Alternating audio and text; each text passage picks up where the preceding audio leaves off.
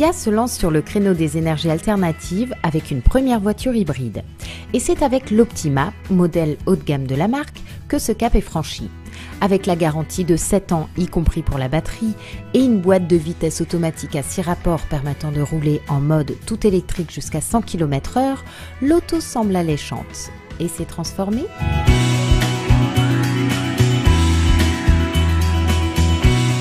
Le dessin tout en longueur de cette berline familiale est complété à l'avant par une grille de calandre noire qui cache les volets actifs, un contour de calandre chromé, des projecteurs anti-brouillard, des phares xénon et des feux diurnes à LED dans un bouclier sport. On note la présence de jupes latérales sport et à l'arrière d'un bouclier sport également, ainsi que d'un béquet discrètement apposé sur le dessus du coffre. Les jantes en alliage de 17 pouces sont spécifiques à cette motorisation hybride pour un faible coefficient de traînée.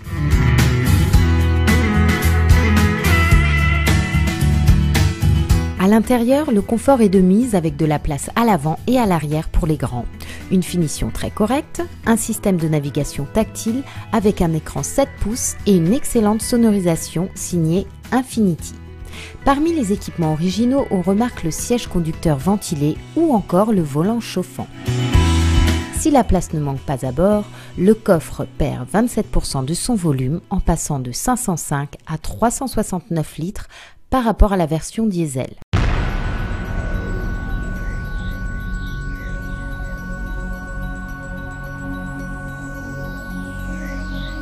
L'hybridation choisie par Kia est une technologie parallèle, c'est-à-dire que le moteur essence 4 cylindres de 2 litres et 140 chevaux et le moteur électrique de 40 chevaux peuvent fonctionner indépendamment l'un de l'autre ou conjointement. Dans ce cas, la puissance combinée est de 190 chevaux et le couple de 385 Nm. Comme sur toutes les hybrides, le moteur électrique fait également office de générateur sur certaines phases de conduite pour recharger les batteries lithium-ion polymère. À l'usage, on démarre systématiquement en mode électrique et ce mode sera le plus souvent enclenché en ville, mais aussi lorsqu'on relève le pied ou lorsqu'on est à une allure stabilisée sur un grand axe par exemple. Comme on s'y habitue sur ces véhicules, le silence règne à bord, d'autant que l'isolation phonique générale est de bonne qualité. Lorsque le rythme augmente, le moteur essence prend le relais et peut être soutenu par le moteur électrique pour offrir plus de couple et de puissance tout en consommant moins.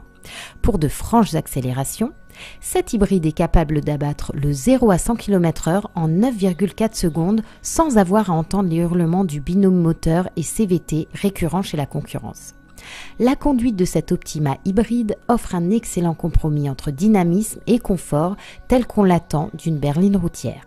Seul ombre au tableau, on ne peut pas forcer le mode électrique le temps de traverser une zone réservée.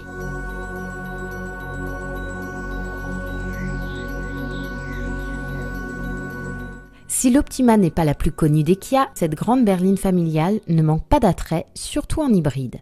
À 33 890 euros, le même tarif que l'Optima diesel 1,7 litre CRDI de 136 chevaux boîte auto, l'hybride apporte le confort du couple à bas régime et le silence de fonctionnement en ville. Il nous épargne aussi la désagréable sonorité du diesel lorsque l'allure augmente. En conclusion, Hormis le volume du coffre amputé pour accueillir les batteries et des équipements d'aide à la conduite indisponibles, l'Optima hybride est particulièrement convaincante.